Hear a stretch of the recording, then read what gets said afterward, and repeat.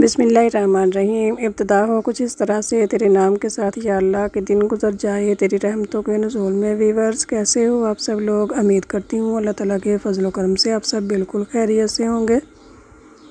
मेरी दुआ है, अल्लाह पाक आप सबको अपने सामान में रखे और आपकी तमाम नेक हजात पूरी करे। आमीन, या रब्बुल आलमीन। वीवर्स आज की इस वीडियो में बहुत ही खूबसूरत बेबी ड्रेस आइडियाज़ लेकर आई हूँ। ये सारे के सारे ड्रेसेस कम्बिनेशन के हवाले से बहुत ही खूबसूरत हैं।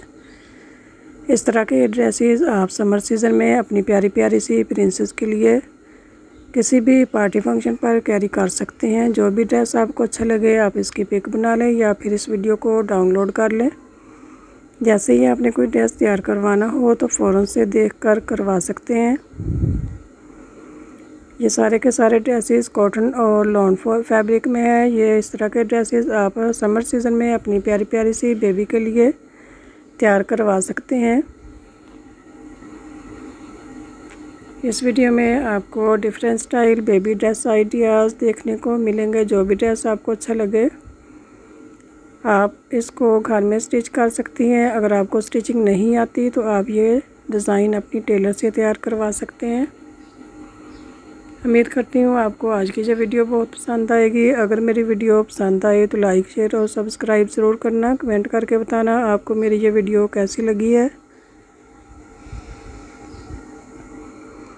और मज़ीद आप मेरे चैनल पर क्या देखना चाहते हैं। इससे हमारी हौसला अफजाई होती है और हम कोशिश करते हैं कि अपने व्यूवर्स के लिए और भी न्यू न्यू डिज़ाइन की वीडियो अपलोड करते रहें। इससे पहले मैंने बहुत सी वीडियो बेबी ड्रेस डिज़ाइन के बारे में अपलोड की हैं। इसके अलावा कंप्यूटर मशीन के बारे में बहुत सारी वीडियो अपलोड की हैं। कंप्यूटर मशीन चलाने का मुकम्मल तरीका बताया है कि ये कैसे चलती है और क्या क्या काम करती है। इससे वॉइस नेक डिज़ाइन कैसे बनाए जाते हैं, दुपट्टा पिको ओवरला काज करने का तरीका बताया है।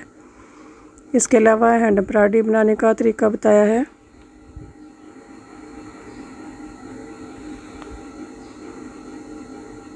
इस वीडियो में आपको